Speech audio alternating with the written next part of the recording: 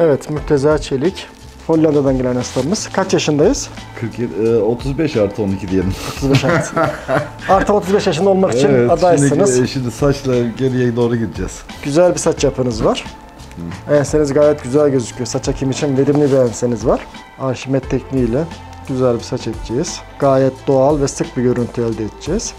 Sizi eski halinize kavuşturmak için elimizden gelen her şeyi yapacağız. Tam bu saçın bittiği yerden kendi saçlarınız başlayacak. Şuralar sık bir şekilde ekilecek. Tepe sık bir şekilde ekiliyor. Ama incelmiş, seyrelmiş. Bu araya da saç ekimi yapacağız. İlk önce ağrısız anestezi cihazını kullanacağım. Birazcık sesli çalışıyor, ürkmeyin.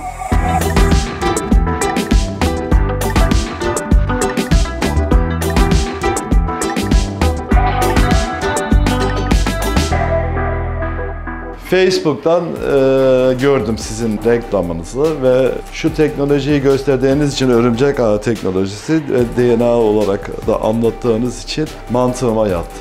Bir tek sizde olduğu için, patentli sizin üzerinizde olduğu için sizi tercih ettim. Biz saç ekimini cerrahi bir işlem olarak görüyoruz. Yani herhangi bir işlem olarak olmadığı için hastanenin içinde yapıyoruz demesi beni rahatlattı.